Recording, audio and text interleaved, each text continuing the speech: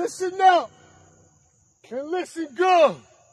You, you, you, you, you, you, your level of fucking discipline fucking sucks. Your level, your level, your level, your level, your, your level of discipline dictates your improvement, nigga. When you around people that lack discipline, you around people that lack discipline, you, you, all you motherfuckers around people that lack discipline and you fucking expect to improve, nigga. It won't happen. It will never happen. It don't work like that.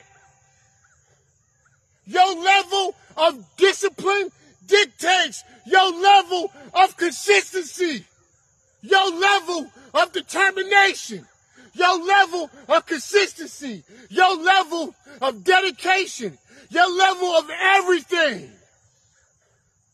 Without discipline, you're loyal to nobody. You're not even loyal to your fucking self. I would never put myself in shoes of an undisciplined person. They're going to make bad decisions intentionally.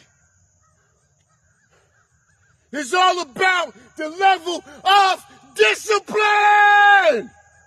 That's what it's about.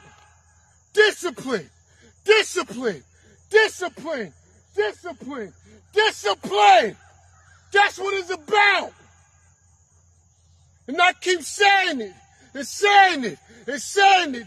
All y'all level of discipline fucking sucks. That's why your improvement fucking sucks.